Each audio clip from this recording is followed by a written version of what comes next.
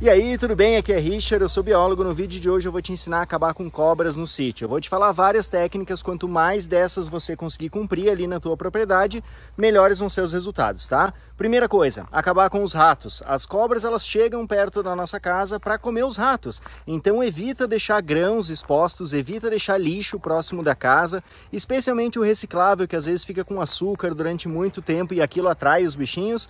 E o veneno para o rato clássico e mais seguro são são os porta-iscas com blocos parafinados dentro. Eu tenho outros vídeos que eu falo aqui sobre isso, se tu ficar com alguma dúvida, tu comenta aqui embaixo. Existem alguns repelentes que são muito bons. Aqueles repelentes sísmicos, eles funcionam. Ah, as cobras, elas não gostam de sentir as vibrações no solo porque elas acabam achando que tem um animal muito maior que elas circulando.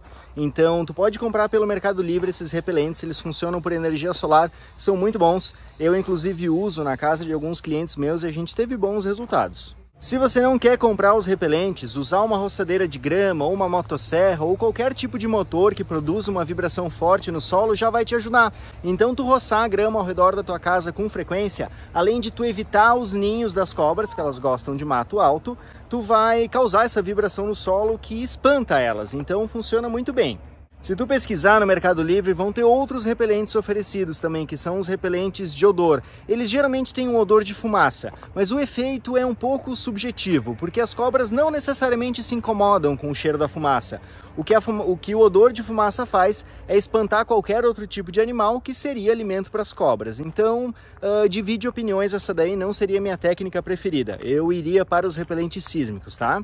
Então, continuando sobre acabar com a comida das cobras, elas gostam muito de ovos. Quanto menor o ovo, mais fácil elas comem. Então, evita de ter ninhos de passarinho nos caibros da tua casa. Eu sei que é chato tirar os passarinhos dali, mas se tu tá com um problema sério com cobras, é uma coisa que tu vai precisar fazer.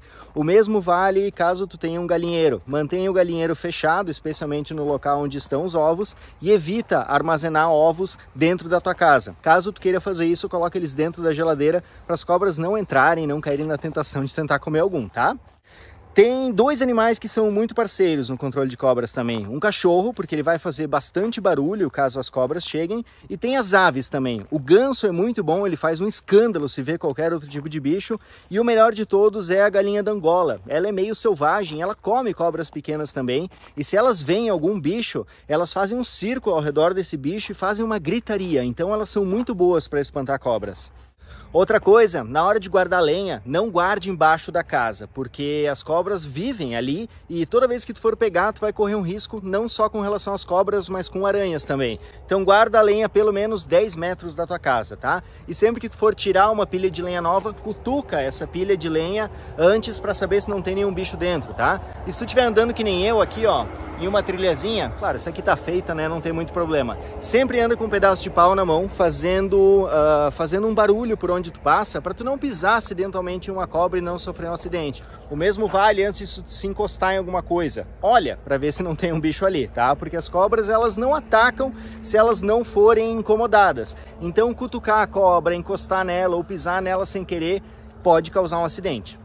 Agora uma coisa importante é se tu tem cachorro e tu costuma deixar comida, a ração do cachorro direto para ele disponível, uh, não deixa pelo menos durante a noite, porque os ratos gostam muito de ração de cachorro e as cobras gostam de ratos. Então não dá para deixar a ração exposta se tu tá tendo problema com cobras, tá? Ou se for deixar, deixa pelo menos 10, 15 metros de distância da casa para evitar que elas se toquem dentro da tua casa, beleza? Ah, não se esquece de se inscrever aqui no canal se alguma dessas dicas foi útil para ti, tá? Vai ficar muito grato e isso vai ajudar a distribuir o meu vídeo para outras pessoas que possam se interessar pelo assunto. Agora, outra coisa para finalizar o nosso papo é tapar qualquer tipo de buraco que apareça perto da tua casa. Os buracos geralmente são feitos ali por tatu, uh, ratos, ratazanas ou outros animais ali que moram intocados. As cobras, elas... Oh, mosquito aqui. As cobras, elas comem esses animais e elas aproveitam essa toca. Então, sempre que tu vê alguma toca ao redor da tua casa, um buraco no chão, tampa, beleza? Bom, se tu tiveres alguma dúvida ou se tu conhecer mais alguma técnica, comenta aqui embaixo que eu sempre respondo, tá? Um abraço, até amanhã!